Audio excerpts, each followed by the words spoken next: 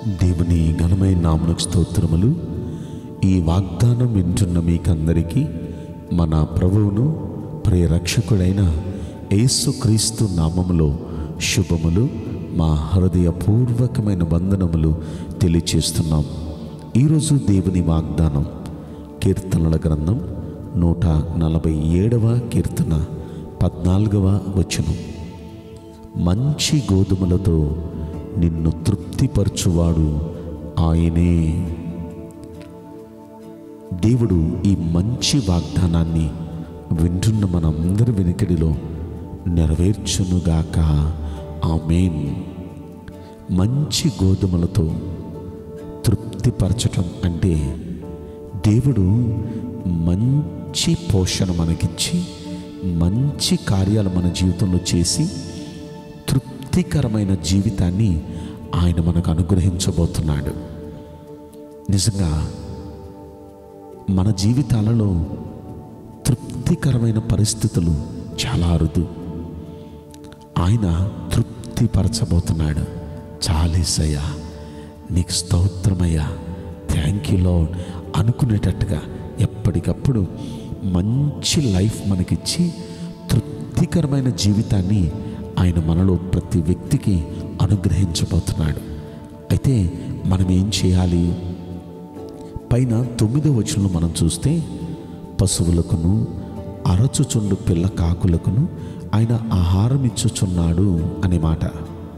అంటే పశువులు కానీ పిల్ల కాకులు కానీ ఏం చేస్తున్నాయి? అంటే మధ్యలో మనం చూస్తాం అరచుచూ ఉండు.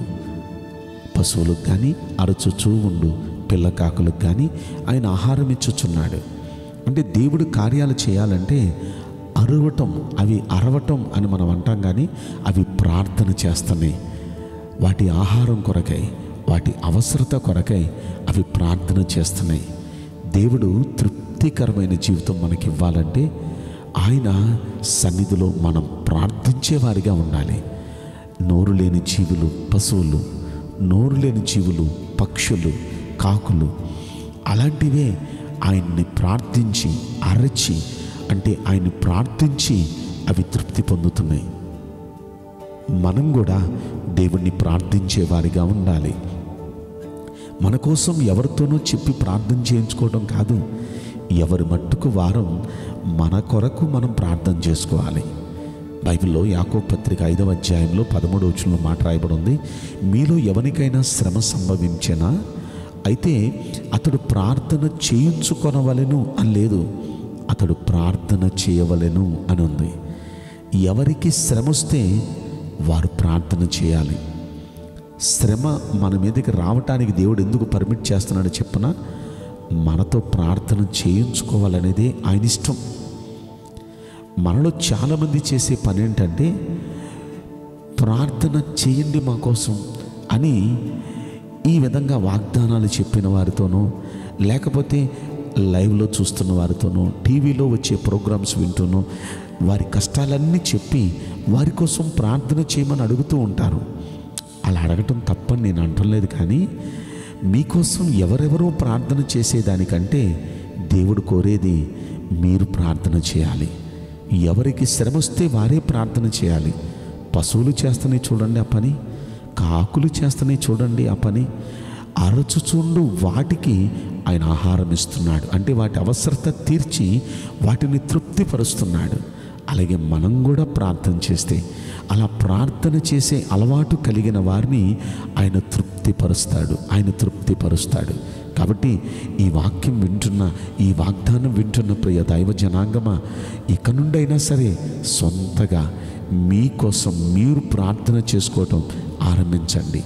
ఆ శక్తితో ప్రార్థన చేయండి. రెండవది మనం ఏం చేయాలండి? పదకొండవ వచనం.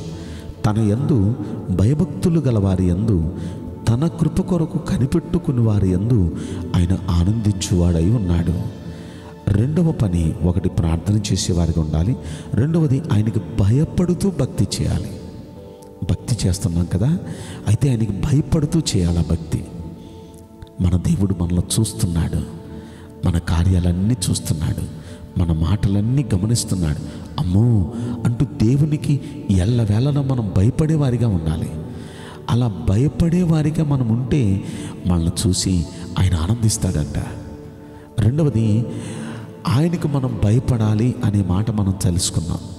ఒకటి ఆయనకి ప్రార్థించేవారిగా ఉండాలి. రెండు ఆయనకి భయపడుతూ భక్తి చేసేవారిగా ఉండాలి. మూడవది ఏ విషయమైనా సరే ఆయన కృప కొరకే కనిపెట్టుకోవాలి. అయ్యా ఆకాశం ముందు మీరు తప్ప మాకెవరున్నారయ్యా? మీరు సాయం చేయకపోతే మాకెవరు సాయం చేస్తారయ్యా?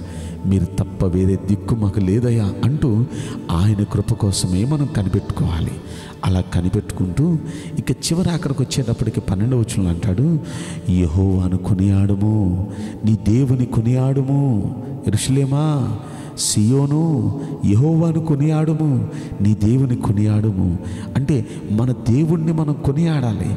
యహోవాను మనం కొనియాడాలి. కొనియాడటం అంటే ఆయన్ని స్తుతించడం ఆయన్ని కీర్తించడం ఆయన్ని పొగడటం ఆయన్ని గనపరచడం అదే ఆయన్ని కొనియాడటం. ఒకటి ఆయన్ని ప్రార్థించాలి. రెండవది ఆయనకు భయపడుతూ భక్తి చేయాలి.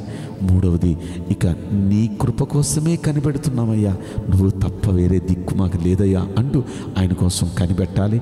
ఇక నాలుగవదిగా ఆయన కొనియాడాలి ఆయన గనపరచాలి ఆయన స్థుతించాలి ఎవరైతే నాలుగు పనులు చేస్తారో అలా చేసిన వారికి అంటండి మంచి లైఫ్ ఇచ్చి తృప్తిపరుస్తాడంట దేవుడు.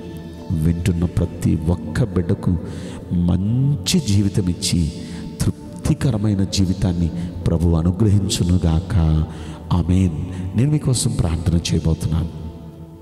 పరిశుద్ధుడా ప్రేమగల యేసురాజా మీ పరిశుద్ధ బంగారు పవిత్రమైన నామ్మునకు నిండు మనసుతో కోట్ల కొలదిగా స్థుతులు స్తోత్రములు వందనాలు చెల్లిస్తున్నాం. ఈ వాగ్దానం వింటున్న ప్రియుల జీవితంలో దయచేసి ఈ వాగ్దానం నెరవేర్చి కృప చూపించండి. మంచి జీవితం ఇచ్చి తృప్తికరమైన జీవితం ఇస్తాను అన్నారు.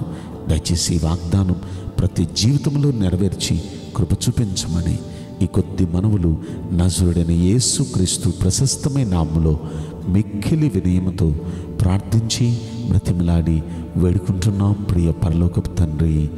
Amen. May God bless you all thank you